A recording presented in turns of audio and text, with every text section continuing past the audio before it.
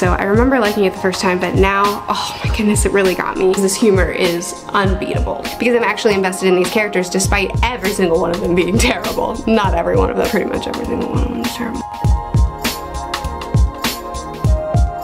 I finished the first Percy Jackson book. I read it super fast. I've read this before. There's a review up on my channel of my thoughts on it after I read it. And I really enjoyed it the first time around. And I didn't really like two. And I enjoyed books three and four, but kind of lost my momentum and never finished the series. A little bit of background about my reading with the series. But now I I just think that it was the wrong time for me uh, to continue on with the series, but I continued just because I did. And now I'm excited to give this series another shot, which is why I'm rereading it and finishing it out this time. Um, so I just finished book one. I read it super fast because I actually remembered it quite well. Uh, a lot of the details stuck with me, which was really, really fun to get to re-experience it because there's tons of foreshadowing. Um, if you don't know, I mean, you know, but whatever. It's Percy. He's a half-blood, which means that he is he's a demigod. So his uh, he he lives with his mom and his stepdad and his father. He finds out one day after fighting a kindly one which is like a demon basically he finds out that uh, he is a half-blood. And so he goes to camp half-blood where he learns to fight and uh, he doesn't know who his dad is. And so there's a good chunk of the book where we don't know who his dad is. And um, it was fun. It was fun to pick up on the foreshadowing this time because there was quite a bit of it. Uh, so it was cool to see how early on it started and all the different places that it was. I really liked that.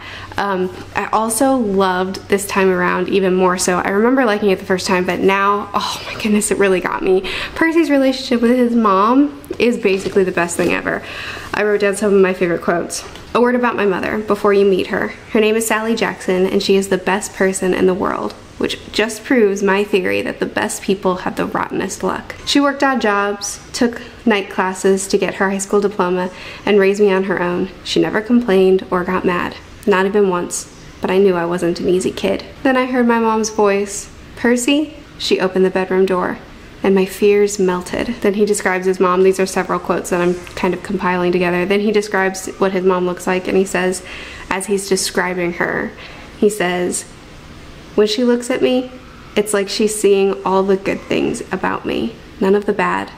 I've never heard her raise her voice or say, un or say unkind words to anyone not even me or Gabe. And really it's all throughout this entire book. Anytime he gets the opportunity to think about or talk about his mom, it's just, it's just really beautiful. I don't know, you don't read a lot of middle grade or YA books where the kids just have an amazing relationship with their parents and I love to read it. I love to see it. My favorite of like kids shows that my son watches, uh, my favorites are always the ones where the parents are there and they're healthy and they're sweet to their kids. And I don't know I understand why it makes it makes sense to have conflict with your parents. That way when the kids go off on adventures like you just have a ready and easy excuse. But it's really really lovely to see parents that care and that love their kids and and kids that see it and appreciate it oh it just it makes me very happy. But anyway, the book. Um, like I said, I remembered it really well, so I was just having fun going through it the first time that I was reading through. I was experiencing everything for the first time. I was thinking through everything really hard, and this time I just kind of let go and just enjoyed the ride. It's still, the first time I read it, my complaint, uh, which I enjoyed it the first time, but my complaint was that it's very formulaic and very episodic, and that's really just not my thing, and that's still true um, it's still, especially the quest part, um, which is like the entire middle chunk of the book, it's I read that even faster because it's just not my type of storytelling, but it's so much fun. I think that the way, is it Rick Riordan or Reardon? I think the way the author writes the Greek gods um, now I know a little bit more about Greek mythology than I did when I first read it, and and I love the way he incorporates these myths and uh, and also gives them their his own spin on their personalities while still being loyal to the myth. Uh, I love how much he seeps the mythology into the books like when um, one of the characters is telling percy um, you know that the that the greek gods have just been around for millennia and they follow the heart of the west and you can see them in rome and you can see them here and you can see them there look at the carvings on these you know national uh, monuments and and look at the tapestries and and the statues and look at all these different cultures that the gods show up everywhere. They just show up in different ways. And um, I really really like how it kind of just seeps into the world. I think that's one of my favorite things about fantasy stories like this um, where where you reach out into the real world and make it make sense and make it feel almost like oh wait that that that seems like like I could almost convince myself of this, you know, like and I think that's fun when it almost feels real. And I think he does an amazing job at that. I also just think that it's fun. like I just it's just a really fun story to read. My favorite part uh, I guess I shouldn't tell you because it's near the end of the book. Can I just tell you? No. Here's my hand mute the video if you don't want to hear what my favorite part is. It's not really much of a spoil. It's a little bit, of, it's a spoiler. So mute the video. Ready? When my hand goes down, unmute the video. When we're in the underworld is definitely my favorite part. That part is so fun. Now you can unmute. See, the hand's gone. Um, so, I don't know. It's just, it was just, it's fun. It's just really, really fun. I like, I like the way the author, Riordan Riordan. I like the way he makes it all make sense. I like the way he justifies everything and explains everything. And when we get to this mythological stuff, he's like, well, yeah, of course it's that way, and here's why. And it's like, yeah, all right, I almost believe you. You know, like uh, he just he does a good job. It's I'm enjoying it a lot. So I had a ton of fun rereading book one, and um, I'm not going to reread book two because I actually remember that one super well as well. And I also remember I really didn't like it that much and it kind of made me lose my momentum with the series a little bit. I pushed through anyway, but I wasn't really feeling it so much after book two. So I wanna just skip it and go straight into book three, fresh eyes, enjoy it. I'm really, really, really excited for that actually. So I'm gonna do that and I'm also going to start Hitchhiker's Guide book two, which I'm so excited for. My dad's already read it and he said it's a huge step down. I'm just gonna pretend he didn't tell me that and I'm going to love it. Um, so I guess that's it. So yeah, welcome to the vlog.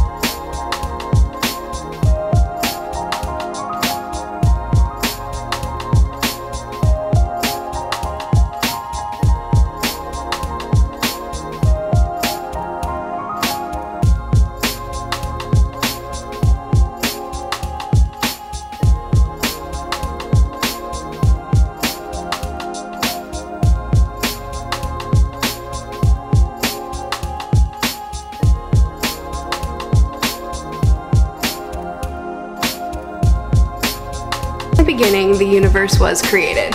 This has since then made a lot of people mad and is generally considered a bad choice or a bad decision, I think was the opening line to uh, book two in the Hitchhiker's Guide to the Galaxy. An excellent book. Hitchhiker's Guide to the Galaxy was brilliant. Let me adjust this a little bit more. Hitchhiker's Guide to the Galaxy was brilliant. Um, I loved every second of it and I haven't stopped talking about it since I read it. Hitchhiker's Guide to the Restaurant, the, ret the Restaurant at the End of the Universe was also very good. Um, I, so I lost the book. I don't know where it is, but I thankfully had bought the audiobook for my dad, so when I misplaced the book, when I was halfway through reading it, I just switched to the audio. Um, I don't like that we changed our narrator. I think the reason they did that is because the guy who narrates the series from two forward, from book two forward, I think he was an actor in the movie maybe. I didn't look into it, but Stephen Fry was the narrator in the first audiobook. And granted, I mostly physically read it and I didn't listen to much of the audiobook, but it was Stephen Fry and it doesn't matter. Let's talk about the actual book. Restaurant at the End of the Universe um, takes place picks up right where the end of book where book one ended and they are hungry so they're going to a restaurant at the end of the universe not physically at the end of the universe but in time.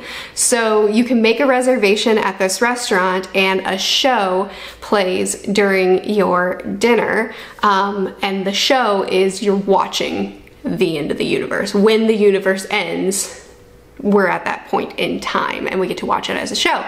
After the meal, after the show, you get to time travel back to your time frame, back to your dimension and space and all the things.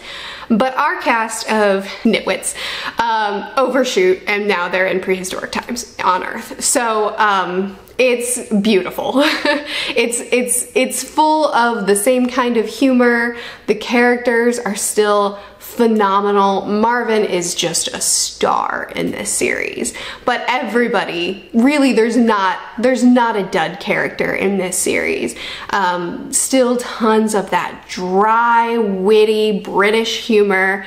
Uh, still a decent amount of introspection. A lot of really cool um, references to the number 42. 42 is just thrown casually in there throughout the book, which I, I, really appreciated. If you've read the first book, then you know why that should make me happy. The difference is from book one into book two, I felt an urgency. I need book two now. And with book two, I feel that was fun. I'm definitely continuing on with the series, but I'll probably pick up a couple things in between. This humor is unbeatable. I have also read some um, Hunter Hunter. Let me get some, let me, I'll be right back. I have started the Chimera Ant arc. So I finished 18, I read all of 19, and I've read most of 20. And this is probably all I'm going to read this week because I have I have stuff going on tomorrow. Um, so I will update you now, timestamps, if you're not a Hunter Hunter person. So Chimera Ant has only just begun and already it, um, it just keeps, Togashi just keeps elevating things. He just keeps making things deeper and darker and more intense. There are some scenes in this, oh wow, barely any of, only that much of this volume was Chimera Ant. Um, there are some scenes in this volume that I I don't know how the anime could have depicted without just, I mean, it, it was chilling to me just seeing it in the manga. Really, really chilling. Uh, the Chimera Ants, at first when they were first introduced, I was like, I'm sorry. what are we doing right now? Because it's a weird concept. It's a really weird concept, but it also just like instantly takes off and is really, really engaging and intense and exciting from the get-go. So despite it being really weird and me, my gut reaction is to be a little bit hesitant about it, um, it was also engaging so fast that I was able to just just go right into it. Um, I have been loving hanging out with Kite, win or lose, it'll be hell. I, he is such an intense character that clearly cares about them, um, but is also just like, if you can't, if you can't do it, if you can't keep up with me, go. Um, I really, really like him. There's some, the Chimera Ants are doing such dark, dark things. Uh, and their, their innate uh, brutality and lust for not just to kill, but for torturing is something. Gon's, Gon's first kill stands out to me for really big reasons, but I won't go into that. I really want to go into that uh, in the review, but that was a really intense moment for me. And the other thing that really stands out to me big time is, uh, let me see if I can find it. It's when, I mean, Kite's been beheaded, but I don't think he's actually dead. Togashi kind of spoiled me at the beginning of uh, volume 20. He does these little summaries. Here's the key players. Here's what they've done so far. And for Kite's introduction, he was like, Kite's dead. Or is he? And it's like, okay, so he's not then. But anyway, um, the scene where the one guy that was in the Hunter Challenge, let me go fix this one. The scene where the one guy from the Hunter Challenge uh, and the bee girl when they get attacked by the chimera ants and he his head gets cut open and then the one the cat one is like poking around in his brain trying to figure out how to use nen and oh let me see if i can find it when the cat character is poking around in his head to find out how to use nen and then whenever they're done using him they just kill him that scene made me physically nauseous. There's actually been a couple of scenes in this arc that have made me nauseous, like genuinely nauseous. They've been so disturbing, um, which I mean is not a complaint. It's just, it's so intense. Uh, but I'm loving it and I don't know how I would stomach watching it in the anime. A character that I'm loving, here she is. I don't even know her name, but I love her She's incredible and I'm excited to hang out with her more. Sorry, I'm trying to cook lunch while I talk to you. Anyway, I'm having a great time with this arc. It's intense and terrifying and gross and intriguing and I can just tell, I, I just feel like Togashi is playing with themes in a really intentional way. He did in Yorknew, and I'm really excited to see what he's gonna do with Chimera Ant. I'm enjoying it so much. Um, Greed Island, sorry it's taken so long to get that video edited and up, but it will be up on Monday on the channel. Uh, so there's that. I'm loving Chimera Ant. I really enjoyed Greed Island. I'm really excited about that review. I hope that you guys are gonna enjoy it because um, I just, I think that I just, I had a lot to say about Greed Island. Um, Chimera Ant will be split into more than one video though. But anyway, that's my update. See you tomorrow to finish off the vlog.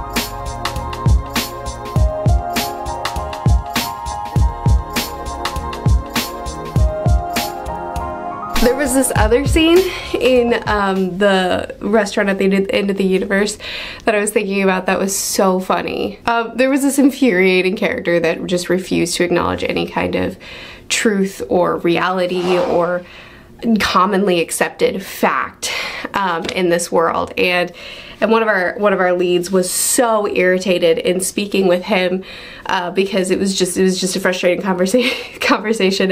And this guy would just talk in circles and and dodge any sort of um, hard truth. And and um, the guy eventually said the law knows I don't know X Y and Z and and our our lead that was that was interacting with him he was like aha! See you acknowledge the law. And then the guy scoops up his cat and starts petting him and he's like I call my cat the law. And it's just like it's just it was just I, I, I finished the book yesterday. And I haven't stopped thinking about it. I when I first finished it, I was like, okay, this is still excellent. I still had a great time. I still laughed my whole way through. Everything that was good about book one was also good about book two, but just on a smaller scale. So I was a little bit disappointed that it wasn't as much love, but the more time I spend away from it, the more I'm still thinking about it. I mean, it's been a day but I'm still thinking about it. I'm reading other things and I'm still just remembering scenes that just make me chuckle. I don't know, it was a really fun time. I just had a really good time. Um, I still haven't found the book. I don't know, but whatever. Um, I'm reading Ship of Magic now, and I am near at the halfway point. I put it down right before half, and let me see if I can find my place, because I didn't have a pencil on me when I was reading it earlier. I'm not gonna find my place. I'm near half done with it, um, and so when I put it down, when I put it down, I was loving it. And uh, it was, it, the, but the problem was that it's so slow. So we've had approximately, what, 350, 350 pages of, of family reveling, family scrambling to figure out what to do next, family mourning this tragedy of losing uh, the head of the family and losing the guy who was captain of the ship and the ship was quickened and and now everybody is displaced and there's a lot of inner family conflict. And this family is discussing just discussing just sitting in rooms talking and raising objections and ignoring each other and squabbling and fighting and that's what we've been doing for 350 pages i'll find the exact page count later.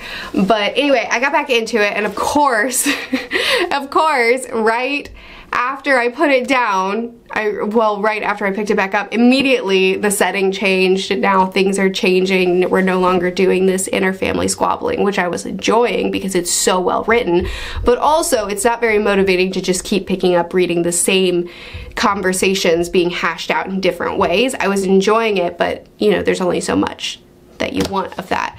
But of course, as soon as I picked it back up, like the next chapter, everything started moving in different directions. So, you know, now, um, I mean, keeping it vague, uh, Wintrow is you know he's he's finding his place on the ship and Althea is uh, finding that her place on the ship wasn't as uh, firm, or rather not this ship, but her place at sea wasn't as solid as she had thought. Um, one character is making me very concerned because she is trying desperately to grow up too fast. And also there's this um, this conflict within the family that's happening where they have these great debts. And it I just I just it looks like this young girl who's too young and who's trying to be too old, I'm afraid she's gonna get sold off